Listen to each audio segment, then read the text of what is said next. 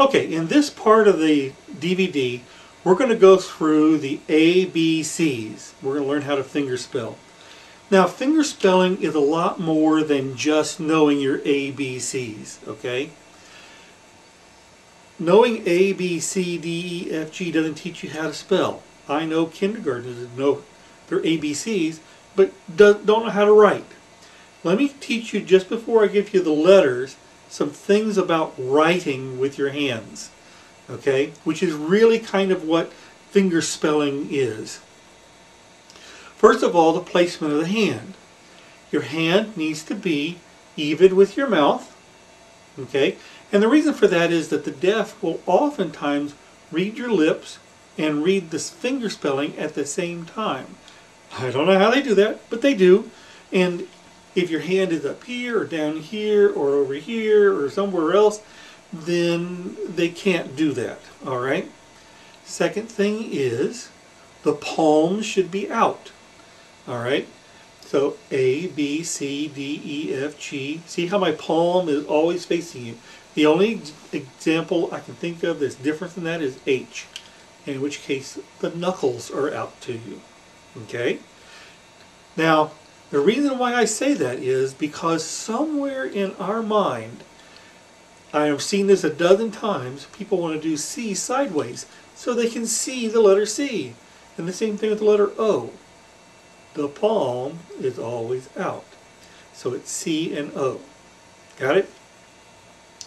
Now, if you're a first timer, there are some things that, that uh, are very, very common mistakes. One of them is bouncing. The most common thing people do wrong in fingerspelling is bounce. Like, hi, my name is Paul. All right, see that bouncing? Think about this. You're on a, you're on a, you're in a, uh, an old pickup running down a country road and you're trying to read a book and the book doing like this. All right? Well, that's the same effect of what you'd be giving in communicating with a deaf person if you bounce your signs. When you sign, your elbow should stay in the same place. So long as your elbow is in the same place, you're signing probably you're not going to make any of the next set of uh, mistakes I'm going to go through. If you'll just keep that elbow still, Hi, my name is Paul. Okay? Uh, no throwing the signs. Another one is Hi, my name. And it's the same thing as what bouncing is, only it's in and out. It's like having the book go in and out, in and out. Uh, no what I call skywriting. You know, you've seen the banners that go across the sky being trailed behind a an airplane.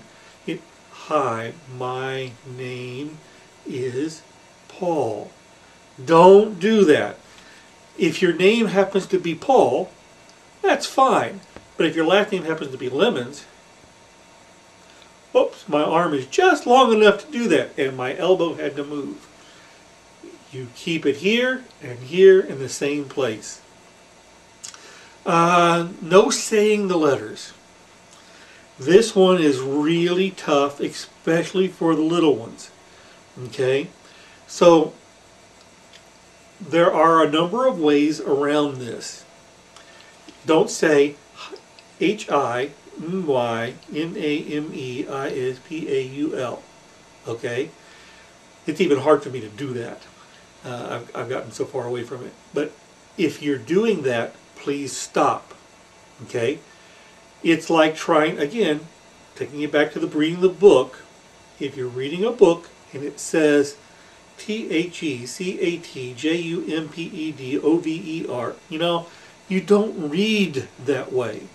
And the deaf, when they're reading your finger spelling, are reading your finger spelling in the same way that you read words. You see the cat, okay? You see those things you don't see the letters. In the same way, the deaf, when they see, they see the cat, okay? They don't see the letters. So don't say the letters. Now the best way to do it is to speak at the same time. Hi, my name is Paul. Okay?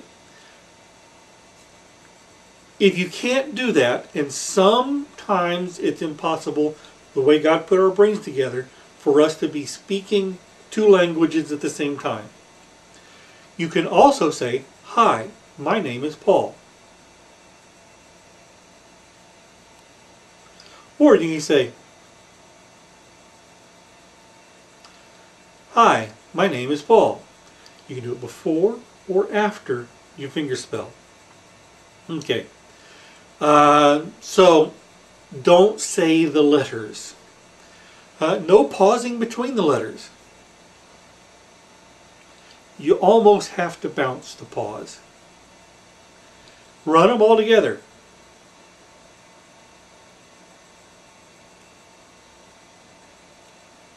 All right? No looking at your hand. I'm talking to you. I'm not talking to my hand. Okay? It's not a puppet. So when you're finger spelling, it's not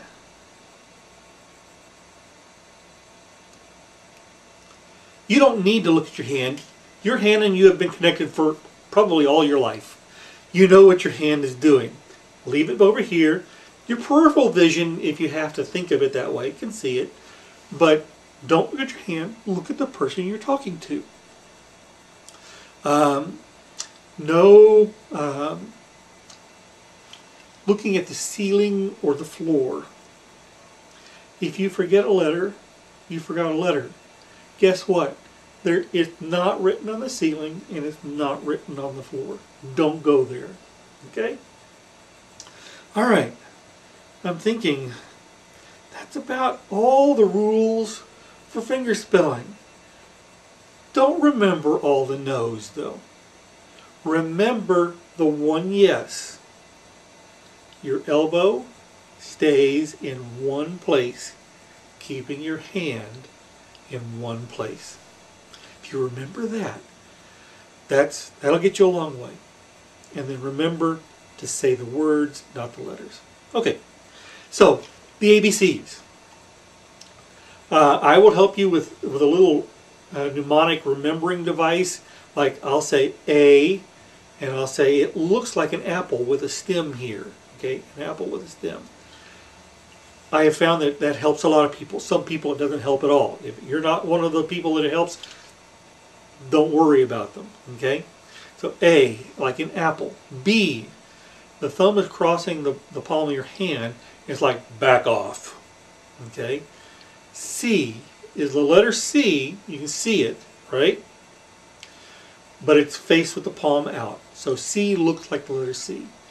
D looks like the letter D if you see the circle and the stick as the lowercase d. D and F get mixed up an awful lot.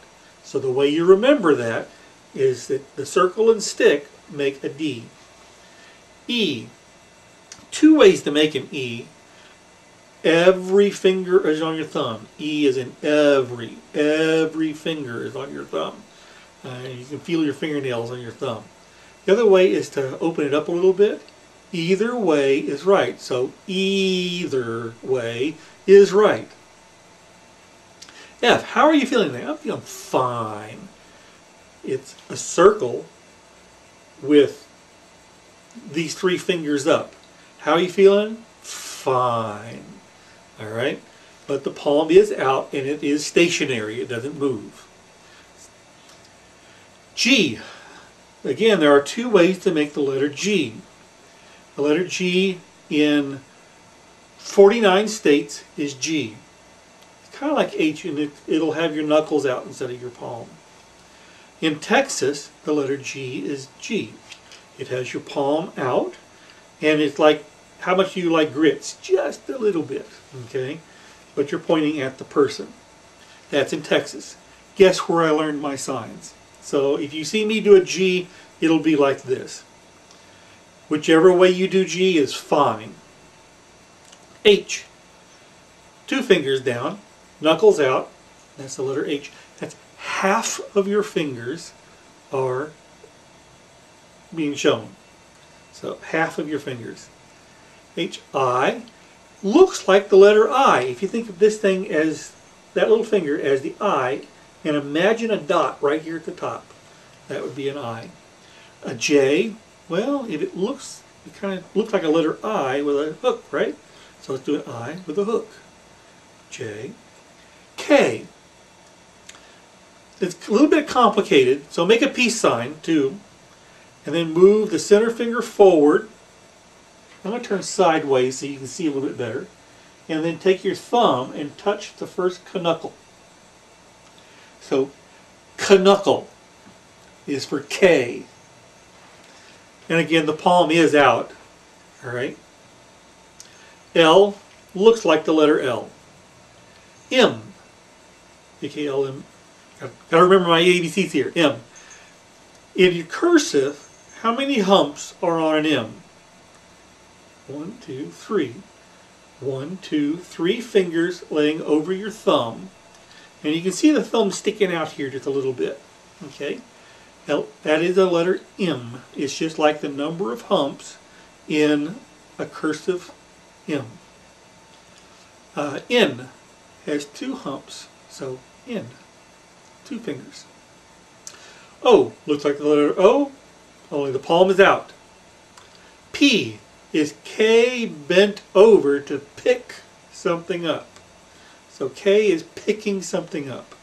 Again, it's like finger forward, touch the knuckle, bend the wrist. Uh, well, PQ is like a Texas G pointed down with a bent wrist. G8, uh, uh, QR, you wrap one finger around the other. So you just kind of wrap them together like you're crossing your fingers. Okay? Or you wrap your fingers around, and I know the word wrap starts with a W, but the way I spell it works out just fine. Wrap. You RS, make a fist, like you're going to punch somebody, but leave the thumb pointing facing forward. ST, you tuck your thumb under your first finger. So you just tuck it under your first finger. T. U, uh, like in Cub Scouts. V, looks like the letter V. W, looks like the letter W. Or 3, uh, no, let's just stick with, looks like the letter W. X, now I do my daily exercises. It's kind of just a hooked finger. Y, if you look at the whole arm, looks like the letter Y. And Z, you just draw Z in the air. Some people do it with a little finger. It's right either way. Okay? So that's your alphabet. What you need to do now is start practicing spelling your name, okay, and not make it be individual letters, and spelling the song that you're going to to uh, interpret or the scripture. Uh, won't be too much finger spelling at the beginning there. Acts. Oh, and by the way, there's no erasing. Everything is done in ink. Acts. Okay. Um, that's it for finger spelling. If you have any questions at all, please don't hesitate to give me a call, send me an email, go onto the website. Uh, that's how you can contact me. And there's a lot of other good information on the website as well. So looking forward to seeing all of you at LTC. Good luck.